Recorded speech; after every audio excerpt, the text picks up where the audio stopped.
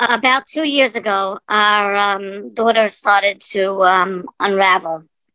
We couldn't understand what was going on. She was always an amazing, she still is an amazing, amazing girl.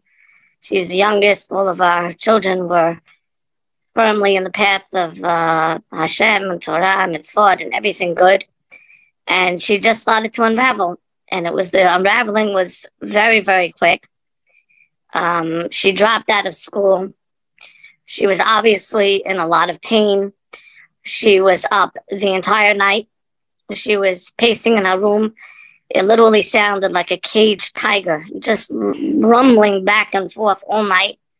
I would wake up early in the morning and she would still be walking back and forth from the night before. Can you imagine the pain?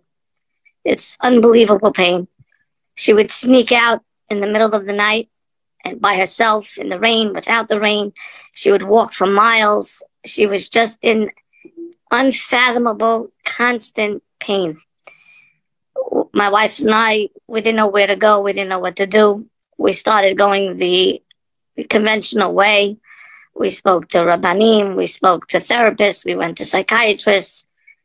Unfortunately, with zero to, to very little success, um, they really don't understand it well. I think that they're understanding it more and more. But right, when we were there a year and a half ago, uh, we were not getting the right advice. Uh, they put her on medications, which she did not need. Um, she was smoking, she was drinking. Um, it was a very bad situation.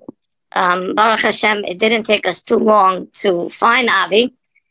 Uh, several, maybe months later, a couple of months later, we started to discover Avi on the internet. And I remember our first conversation with him, and we told him that our daughter experienced the trauma in our house. And he said, I normally do not give advice before you're fully signed up to the program, but I will tell you that as long as you will stay in that house, she cannot heal. With the trauma that happened in that house, she cannot heal.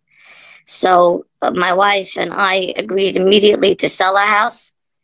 Um, we have very strong community ties. My chabrutot, my friends, my everything is in where I was. We picked up and we moved to another state because it was good for her. And ever since then, we have not looked back. We have been doing everything humanly possible and maybe beyond to help our daughter and to do what Avi suggests because I truly believe it's the only thing that works. Like Avi says, the cure to pain is pleasure. And we see that that helps tremendously. Um, my daughter was running away from us. She hated her parents. She hated her family. She's now on a plane as we speak home. We're going to pick her up at one o'clock in the morning from a flight from Eretz Yisrael. She can't wait to see us. She can't wait to be in our house. She can't wait to hug her parents. Our relationship has gone up immeasurable. It's immeasurable from what it was to what it is. We have a beautiful relationship. We speak to her all the time. Um, the gift bombs and the trip bombs are definitely what helped us tremendously. Of course, how we speak to her, how we deal with her on a daily basis, us understanding her situation, um, you know, my wife and I are not people to really take from other people. But when the choice is to save your daughter's life, you really have no choice. So, you know, I feel like the fund has, you know, a certain amount of money. And, you know, I, I, I, I'm so reluctant when I see the numbers going down and it's dwindling. I truly believe that if people realized how this is actually saving lives, the fund wouldn't be looking for $2 million. People should be pouring tens of millions of dollars.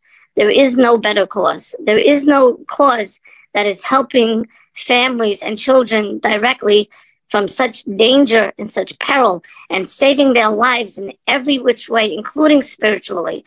Our daughter is getting closer to us. She's getting closer to Hashem.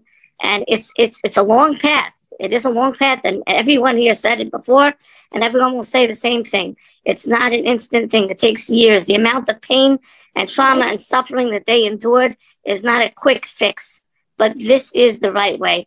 And I don't know, there's really no words to thank Avi Fishoff for what he does. I, I really thought after the first conversation I had, I said, he must charge $100,000 to a family. I mean, the truth is that would be a bargain. Hashem should bless him. I can't believe that he has to, in addition to what he's doing, be involved in helping other people to collect money so that they could save their children. Hashem should just give him the strength, and anyone that can should really give to this cause and should encourage other people to give to this cause because it is truly, truly a life saving, a life saving cause. Thank you so much, Avi. I really, really thank you. My wife thanks you from the bottom of our heart. And Bezat Hashem, everyone should see Yeshuot, and we should be able to continue. And we shouldn't have to be focused at all on the money because there's so many other things that come into play, and money is really the least of it. Thank you so much for giving me the opportunity.